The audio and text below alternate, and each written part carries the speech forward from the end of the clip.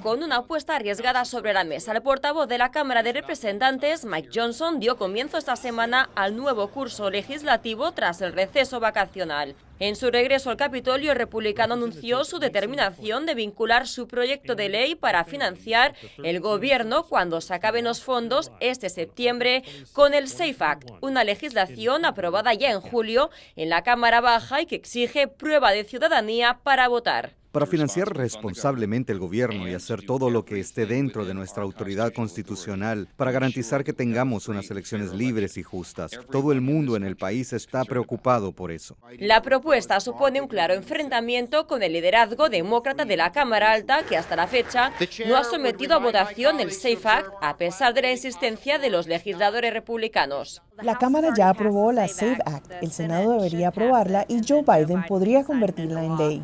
Así pues, la estrategia de Johnson de unir ambas legislaciones, presupuesto, a cambio de blindar el sistema electoral, pondría al Partido Demócrata contra las cuerdas justo a pocas semanas de las elecciones. El líder de la minoría demócrata en la Cámara Baja tildó la jugada de poco seria e inaceptable.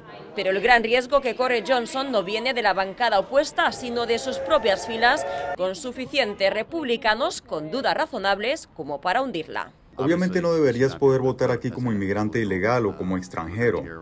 Ahora, que tenga sentido político o no para avanzar el presupuesto, eso es algo que aún está por ver. Carolina Valladares, Voz de América, Washington.